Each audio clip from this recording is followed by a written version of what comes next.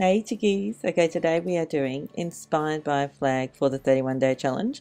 Now, I am half British, and that's why I decided to go with the Union Jack. I really hope you like it. Let's get into it. So I started off by painting my accent nail with OPI's Alpine Snow, because I just love that colour so much. The blue I'm using is Ultramarine from Sea Siren Cosmetics. It's so yummy. And then the red that I'm using is Cabin Fever, also by Sea Siren Cosmetics. I'll also be using some nail striping tape. It's so cheap, you can get it on eBay. Super cheap. So I'm starting off with putting the nail striping tape on my nail. Remember to always put a good quality top coat over your base color before placing any kind of stickers or anything like that on your nail. Uh, I have used Seche Vite as per usual.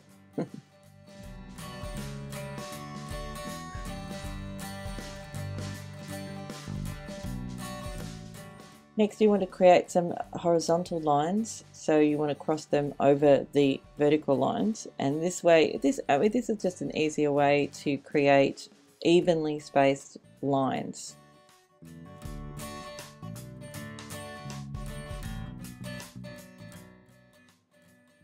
Then we're going to come in with a small detail brush, not a, it's just a sort of a medium small detail brush. I bought it from the Winstone store.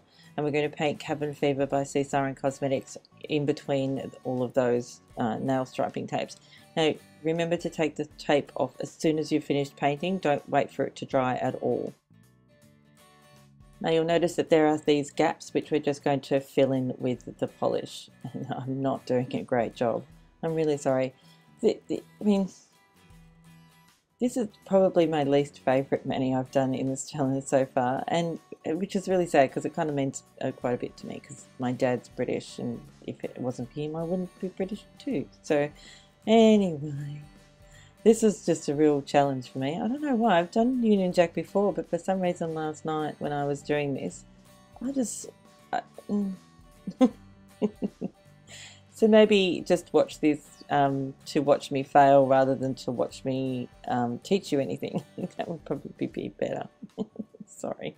Now I probably could have used striping tape for these lines as well, but that would have meant another coat of Seche Vite over the top of the original uh, two red lines and then putting striping tape on over the top of that and it just would have taken me so long and I yes all right okay I'll fess up I'll, I'll put my hands up I was kind of being a little bit lazy I was really tired so this is what happens when you get really tired. You just, while you're doing stuff, don't seem to care as much, which is really sad.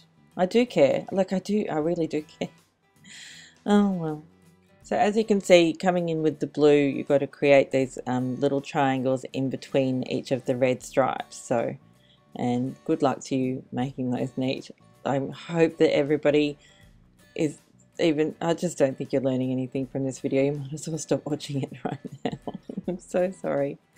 Oh gosh, I'm really disappointed in this one. It looks really good from a distance. oh gosh.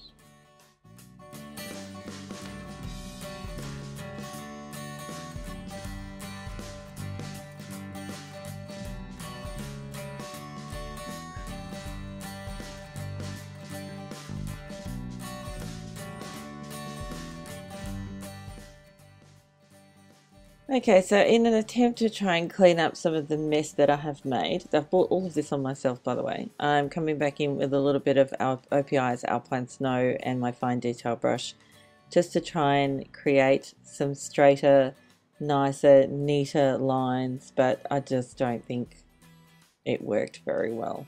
Not at all.